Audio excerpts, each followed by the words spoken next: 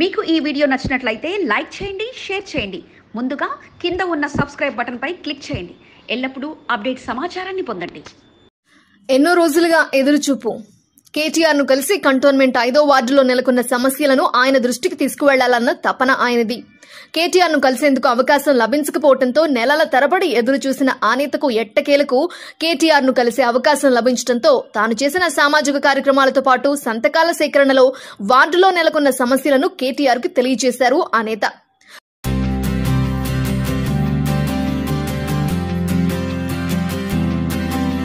ఐదో వార్డులో నేతల దృష్టి టీఆర్ఎస్ పార్టీపై పడింది. రామకృష్ణ టీఆర్ఎస్ పార్టీకి రాజీనామా చేయడంతో ఆయన స్థానాన్ని భర్తీ చేసేందుకు నేతలు పోటీ పడుతున్నారు.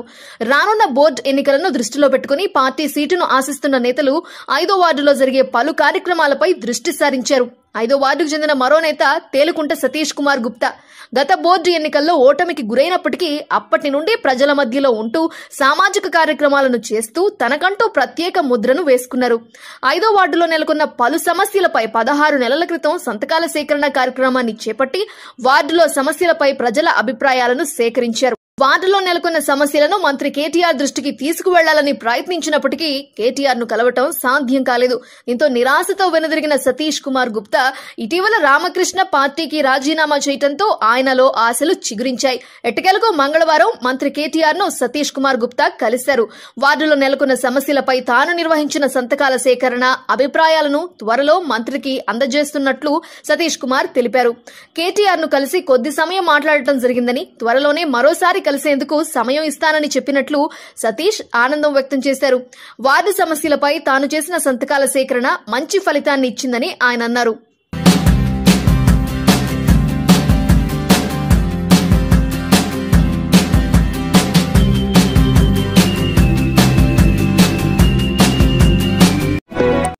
ఒకటో వార్డులో జరుగుతున్న అభివృద్ధి పనులపై నిత్యం పర్యవేక్షణ ఉంటుందని నాణ్యతా ప్రమాణాలతో కూడిన కట్టడాలను అందించి అందరి మదిలో స్థానం సంపాదిస్తామని తెలిపారు board member Jakkula Maheshwara Reddy.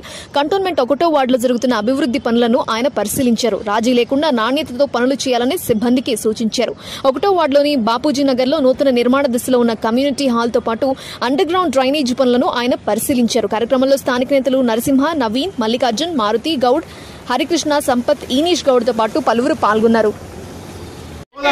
Slope match అయి ఉంటే నేనే వేసేస్తాడు స్లోప్ మ్యాచ్ కాదు.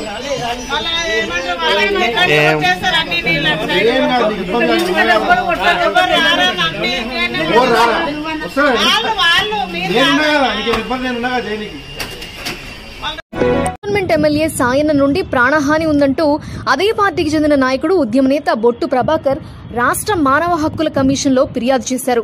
ఇటీవల కురిసిన వర్షాల వల్ల రాష్ట్ర ప్రభుత్వం ప్రకటించిన వరద సహాయం నిధులను ఎమ్మెల్యే దుర్వినియోగం చేస్తున్నారని సోషల్ మీడియాలో ప్రశ్నించినందుకు తనపై అతని అనుచరులతో దాడి చేయించారని ఫిర్యాదులో పేర్కొన్నారు.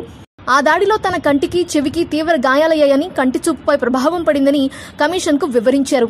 ఉద్యమకారులకు పార్టీలో భద్రత కరువైందని ఆవేదన వ్యక్తం చేశారు. తనపై గత నెల ఇరవై ఏడున దాడి జరిగితే మారేడుపల్లి పోలీసులు ఇప్పటికీ దాడి చేసిన వారిని అరెస్టు చేయలేదని చెప్పారు. తనపై దాడి చేసిన వారిపై చర్యలు తీసుకుని ఎమ్మెల్యే సాయన్న నుండి ప్రాణరక్షణ కల్పించే విధంగా పోలీసులకు ఆదేశాలు జారీ చేయాలని ఆయన హెచ్ఆర్సీను వేడుకున్నారు. ఇరవై నాడు జీడీ ఎంట్రీ చేశారు. అంటే ఈ ఒక ఇప్పుడు నా పరిస్థితి ఇట్లా ఏంది? ఒక సామాన్యుడి అమాయక పరిస్థితి ఏంది? మీ సేవా సెంటర్ వద్ద వరద బాధితుల రద్దీ రెండో రోజు కొనసాగుతుంది. మీ సేవలో దరఖాస్తు చేసుకున్న పలువురికి పదివేల రూపాయల నగదుతో పడడంతో మంగళవారం పెద్ద సంఖ్యలో మీ సేవకు వరద బాధితులు చేరుకున్నారు. భారీ క్యూ లైన్ ఏర్పడింది. ఇది మారేడుపల్లిలోని మీ సేవా సెంటర్ వద్ద దరఖాస్తులకు వచ్చిన వారితో కిక్కిరిసిపోయింది. మారేడుపల్లి పోలీసులు మీ సేవా సెంటర్ల వద్ద చేరుకొని బందోబస్తు ఏర్పాట్లు చేశారు. క్యూ లైన్ల సంఖ్య పెరగడంతో ఆందోళనకర పరిస్థితి నెలకొంది. మీ సేవా పరిసర ప్రాంతాలు దరఖాస్తుదారులతో కిక్కిరిసిపోయాయి.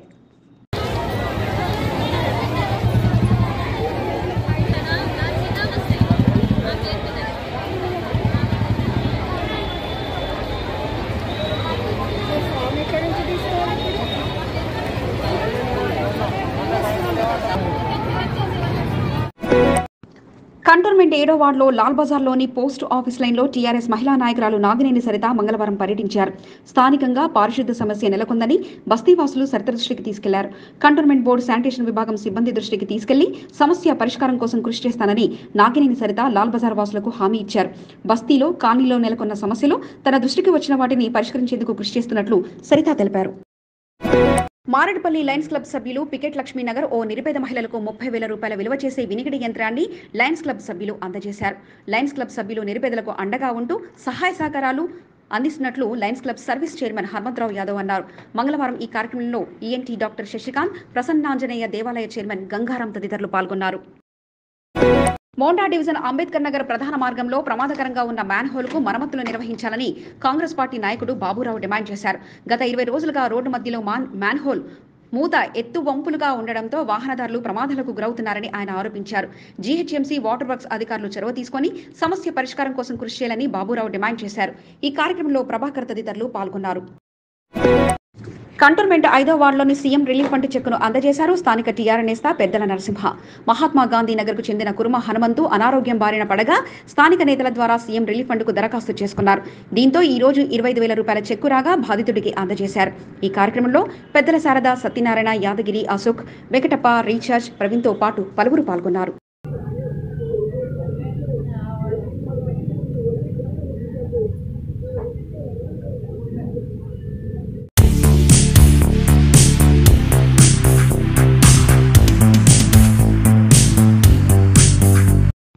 గ్రేటర్లో ఎన్నికల నగరా మోగింది. ఈ రోజు రాష్ట్ర ఎన్నికల కమిషనర్ గ్రేటర్ ఎన్నికలకు షెడ్యూల్ విడుదల చేసింది. ఎన్నికల కమిషనర్ పార్థసారథి నోటిఫికేషన్ విడుదల చేశారు. కేవలం పద్నాలుగు రోజుల్లో ఎన్నికల సరళి ముగిసిపోవడంతో అభ్యర్థుల్లో టెన్షన్ మొదలైంది. ఇంకా సీట్లు ఖరారు కాకపోగా ఆశావాహులు సైతం ఎటు వెళ్ళాలో తెలియని పరిస్థితి నెలకొంది. నవంబర్ పద్దెనిమిది నుంచి నామినేషన్ల పర్వం ప్రారంభం అవుతుండగా ఇరవయో తేదీన ముగింపుగా ప్రకటించారు. నామినేషన్ల పరిశీలన ఇరవై ఒకటో తేదీతో ముగినుండగా పోలింగ్ డిసెంబర్ ఒకటిన జరగనుంది. ఫలితాలు నాలుగో తేదీన ప్రకటించనున్నారు. ఈసారి మేయర్గా మహిళకు కేటాయించగా కేవలం పదమూడు రోజుల్లో ప్రచారంతో గ్రేటర్ వారం ముగియనుంది. పదమూడు రోజుల్లో ప్రచారంతో గ్రేటర్ వార్ ముగియనుంది. కంటోన్మెంట్ మోండా డివిజన్ అభ్యర్థుల ఆశావహుల్లో టెన్షన్ నెలకొంది. ఇప్పటికే పలువురు ఈసారైనా అవకాశం లభిస్తుందని ఆశగా ఎదురు చూస్తున్నారు ప్రతిపక్ష పార్టీలు సైతం రండి రండి అంటూ ఆహ్వానాలు విసురుతున్నాయి. ఇప్పుడు ఎన్నికల షెడ్యూల్ విడుదల కాగా మోండా డివిజన్ నేతలు ఆశావహుల ప్రయాణం ఎటు అన్నది ఇప్పుడు చర్చగా మారింది. ఇప్పటికే కార్పొరేటర్గా ఉన్న ఆకుల రూప మరోసారి తన అభ్యర్థిత్వాన్ని ఖరారు చేసుకునే ప్రయత్నంలో ఉన్నారు. ఆశావహులుగా ఉన్న బద్రీనాథ్ యాదవ్ చిర్రబోయిన సంతోష్ యాదవ్ సరితా యాదవ్ అవకాశం కోసం ఎదురు చూస్తున్నారు నంబర్ నరసింహ ముదిరాజ్ ఇప్పటికే తన వెనతని మంత్రి తలసాని ముందు ఉంచారు. ఒకవేళ అవకాశం రాని పరిస్థితుల్లో కాషాయ నేతలు కూడా ఎప్పుడైనా ద్వారాలు తెరిచి ఉంటాయి అంటూ ఆహ్వానం పలుకుతున్నారు. ఇప్పటికే పలువురు కాషాయ నేతలతో టచ్లోకి వెళ్ళారు. కాంగ్రెస్ నుండి నందికంటి రవి ఆయన సతీమణి నందికంటి నాగమణికి టికెట్ కేటాయించాల్సిందిగా గాంధీ భవన్లో అగ్రనేతలు అప్లికేషన్ అందించారు. కాంగ్రెస్ నుండి తాను బరిలో ఉంటానని పెద్దలకు తన అభ్యర్థిత్వాన్ని తెలియజేస్తానని తెలిపారు మాజీ కార్పొరేటర్ వసంత యాదవ్. రామ్ గోపాల్పేట కార్పొరేటర్ అత్తిల్లి అరుణా శ్రీనివాస్ నివాసంలో బోనాల జాతరను నిర్వహించారు. ఉజ్జయిని మహంకాళి అమ్మవారికి బోనం సమర్పించారు. కార్పొరేటర్ అరుణా శ్రీనివాస్ అమ్మవారికి బోనం సమర్పించారు. జీహెచ్ఎంసీ ఎన్నికల నోటిఫికేషన్ విడుదల కావడంతో అత్తిల్లి శ్రీనివాస్ నివాసం వద్ద కోలాహలం నెలకొంది. బోనాల సందడితో పాటు ప్రజా ప్రతినిధుల సందడితో అత్తిల్లి అరుణా శ్రీనివాస్ నివాస పరిసర ప్రాంతాలు కిక్కిరిసిపోయాయి. కార్యకర్తలు నాయకులు పెద్ద సంఖ్యలో తరలివచ్చి అత్తిల్లి శ్రీనివాసులను అను అభినందించారు. మరోసారి కార్పొరేటర్గా అత్తిల్లి అరుణ్ శ్రీనివాస్ నామినేషన్ దాఖలు చేయనున్నారు. అత్తిల్లి వారి నివాసం నుండి అమ్మవారి బోనాలను సమర్పించారు. మంత్రి తలసాని శ్రీనివాస్ యాదవ్ మాజీ మంత్రి జోగు రామన్న ఎమ్మెల్యేలు దుర్గం చెన్నయ్య విఠల్ రెడ్డిలు పాల్గొన్నారు. రెండు వేల పదిహేను పదిహేను కార్పొరేట్ ఎన్నికల ప్రచారాలను నేతలు గుర్తు చేసుకున్నారు.